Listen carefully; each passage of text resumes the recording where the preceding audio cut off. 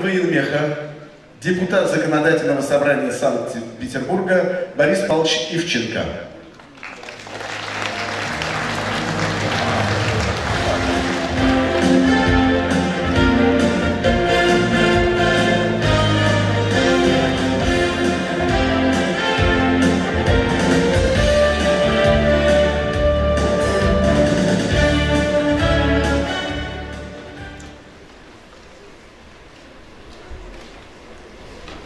Уважаемый Константин Михайлович, уважаемые выпускники нашего вуза, уважаемое новое поколение нашего института, нашего университета.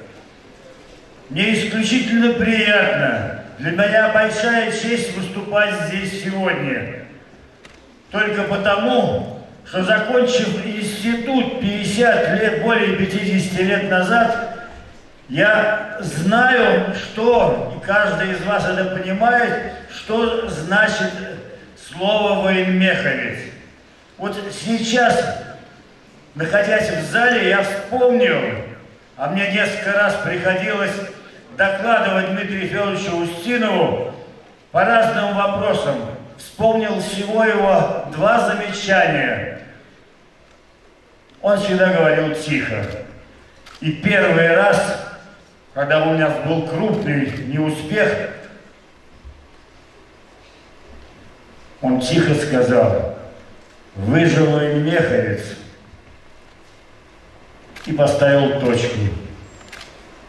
Второй раз, когда мы крупно выиграли, совершили большой прорыв, он сказал, он же, военмеховец совсем с другой интонацией, прямо на заседании Государственной комиссии.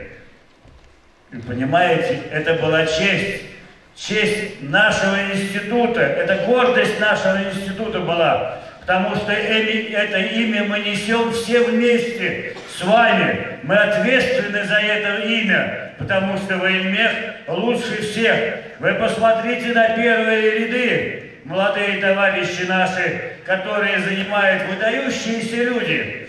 Вы только что были в Галилее.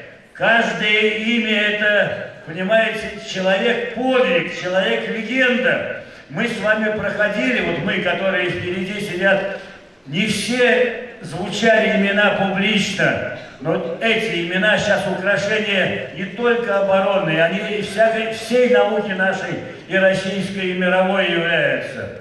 И поэтому я рад, я горжусь тем, что я здесь на трибуне говорю в этот день, в день юбилея Дмитрия Федоровича Устинова, и поздравляю вас с этим праздником.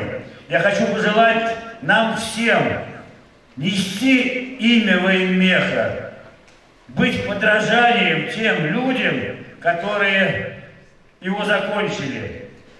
И пускай от этого гордится наша страна тем, что такой вуз есть у нас и будет дальше. Спасибо за внимание.